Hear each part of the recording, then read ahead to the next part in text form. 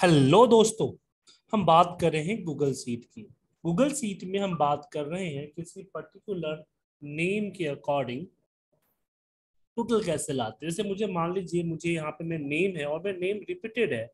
मुझे यहाँ पे एक तो यूनिक नेम चाहिए और दूसरा इनकी टोटल क्वांटिटी चाहिए। तो यूनिक नेम के लिए हमें यूनिक का फॉर्मूला लगाना होगा। यूनिक का फॉर्मूला लगा के हमने एंज कर दिया तो ये हमारे सारे नेम आ गए। उसके बाद मुझे इसकी क्वांटिटी लगानी है तो इसके लिए हम लगाएँगे फॉर्मूला सम इफ़ की। सम इफ़ हम लेंगे रेंज द किसमें मेरा एक कविता और पूजा मैच करेगा, हमने उसको सिलेक्ट कर लिया, जैसे यहाँ पे। फिर कॉमा क्या मैच करना है तो कविता।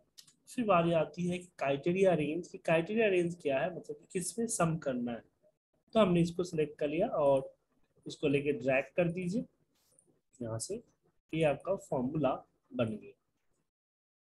उसके बाद इसकी अपने हिसाब से जो है बॉर्डर की फॉर्मेटिंग कर लें कि किस तरह का बॉर्डर होना चाहिए कलर देना है तो कलर दे दे। तो यहाँ पे अपने हिसाब से कलर चूज़ कर सकते हैं।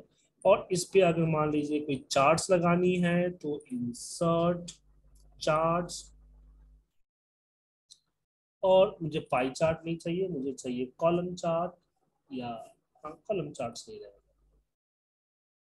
कॉलम चार्ट सेलेक्ट कर लिए काफ़ी बड़ा हो गया, इसको यहाँ से पकड़ के हम छोटा कर देते हैं और ये हमारा गूगल सीट में बन गया।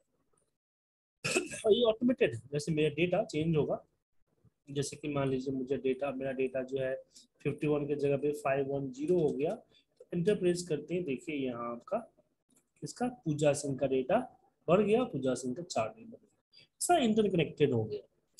तो मेरे साथ इसी तरह की गूगल सीट की कंप्लीट क्लास लेना चाहते हैं तो मेरे साथ लाइव क्लासेस जूम के थ्रू ज्वाइन कर सकते हैं, या फिर आप मेरा रिकॉर्डेड कोर्स को ज्वाइन कर सकते हैं।